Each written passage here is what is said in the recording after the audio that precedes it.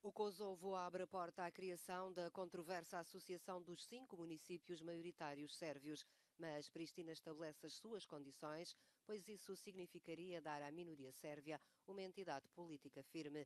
A decisão visa cumprir os acordos de 2013 para permitir as conversações com Belgrado. Esta medida dará ao presidente sérvio margem de manobra para iniciar conversações com o que Belgrado ainda considera uma província rebelde, mas que quase toda a comunidade internacional reconhece como um país independente. Alexander Vucic disse no Parlamento que, se não cumprir os acordos, a Sérvia se tornará num pária europeu, um país completamente isolado com quem ninguém falará. Concluindo, não se pode funcionar sozinho num mundo moderno. Mas os ultranacionalistas sérvios são difíceis de convencer, pois consideram qualquer movimento no sentido do reconhecimento do Kosovo como um país independente uma afronta e acusam Vucic de trair a Sérvia.